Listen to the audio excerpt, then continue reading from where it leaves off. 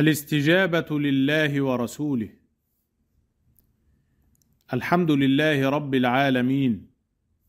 القائل في كتابه الكريم استجيبوا لربكم من قبل أن يأتي يوم لا مرد له من الله. ما لكم من ملجأ يومئذ وما لكم من نكير. والقائل عز وجل للذين استجابوا لربهم الحسنى. وأشهد أن لا إله إلا الله وحده لا شريك له. وأشهد أن سيدنا ونبينا محمدا عبده ورسوله. اللهم صل وسلم وبارك عليه وعلى آله وصحبه ومن تبعهم بإحسان إلى يوم الدين وبعد. فإن المتأمل المتأمل في القرآن الكريم يجد دعوة صريحة للحياة السعيدة الطيبة والنجاة في الدنيا والآخرة بالاستجابة لله تعالى ورسوله صلى الله عليه وسلم.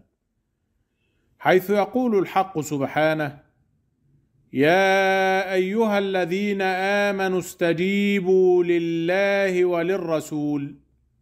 ويقول سبحانه أومن كان ميتا فأحييناه وجعلنا له نورا يمشي به في الناس كمن مثله في الظلمات ليس بخارج منها ويقول تعالى من عمل صالحا من ذكر أو أنثى وهو مؤمن فلنحيينه حياة طيبة ولنجزينهم أجرهم باحسن ما كانوا يعملون. ولا شك أن الاستجابة لله تعالى ولرسوله صلى الله عليه وسلم سبيل المؤمنين الصادقين الموفقين لشكر نعم الله عز وجل استعمال الجوارح التي وهبها الله إياهم في سماع الحق والاستجابة له حيث يقول سبحانه إنما يستجيب الذين يسمعون كما أن الاستجابة شأن الأنبياء المصطفين والملائكة المقربين. فعندما أمر الله عز وجل نبيه نوحا عليه السلام بصنع السفينة في الصحراء حيث لا أنهار ولا بحار استجاب لأمر ربه سبحانه. حيث يقول تعالى واصنع الفلك بأعيننا ووحينا ولا تخاطبني في الذين ظلموا إنهم مغرقون ويصنع الفلك وكلما مر عليه ملأ من قومه سخروا منه. قال إن تسخروا منا فإنا نسخر منكم كما تسخرون. وعندما أمر الله نبيه إبراهيم عليه السلام أن يؤذن في الناس بالحج حيث يقول سبحانه وأذن في الناس بالحج يأتوك رجالا وعلى كل ضامر يأتين من كل فج عميق. كانت استجابته عليه السلام حين قال لربه جل وعلا ربي وما يبلغ صوتي؟ فقال سبحانه أذن وعلي البلاغ. وكذلك حين أمره ربه سبحانه بذبح ولده فكانت الاستجابة والتسليم منه ومن ولده إسماعيل عليهما السلام حيث يقول سبحانه فبشرناه بغلام حليم فلما بلغ معه السعي قال يا بني إني أرى في المنام أني أذبحك فانظر ماذا ترى. قال يا أبت افعل ما تؤمر ستجدني إن شاء الله من الصابرين. فلما أسلما وتله للجبين وناديناه أي يا إبراهيم قد صدق صدقت الرؤيا. أنا كذلك نجزي المحسنين ان هذا لهو البلاء المبين وفديناه بذبح عظيم.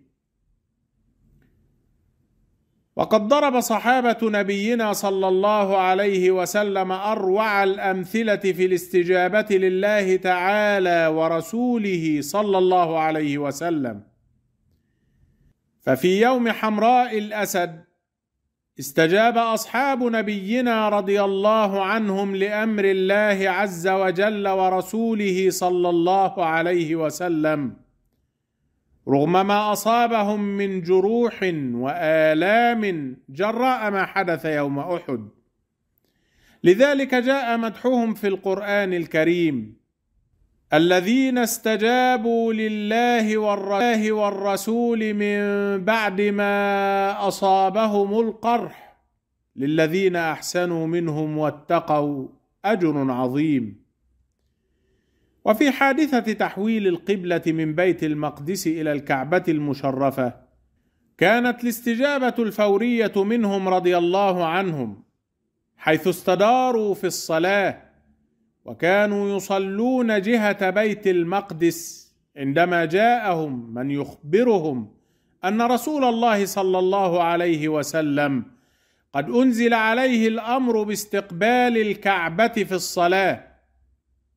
وكذلك كانت استجابتهم رضي الله عنهم حينما تغير وجه نبينا صلى الله عليه وسلم وبدا عليه الحزن من رؤيته قوما فقراء حفاة عراه ودعا أصحابه رضي الله عنهم إلى الصدقة قائلا تصدق رجل من ديناره من درهمه من ثوبه من صاع بره من صاع تمره حتى قال ولو بشق تمره.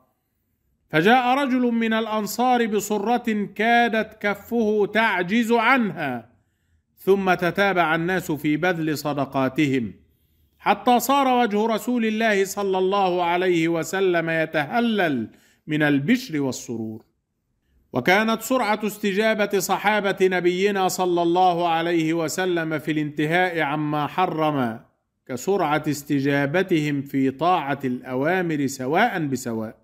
فلما نزل قول الحق سبحانه في تحريم الخمر بصورة نهائية قاطعة يا أيها الذين آمنوا إنما الخمر والميسر والأنصاب والأزلام من عمل الشيطان فاجتنبوه لعلكم تفلحون.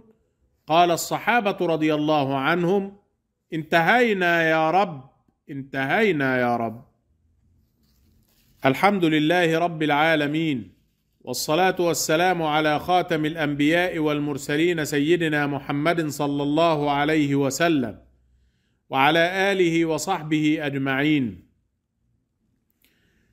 لقد أكرم الحق سبحانه أهل الاستجابة لله ورسوله صلى الله عليه وسلم بالمغفرة التامة والنجاة والجنة يوم القيامة حيث يقول تعالى يا قومنا أجيبوا داعي الله وآمنوا به يغفر لكم من ذنوبكم ويجركم من عذاب أليم.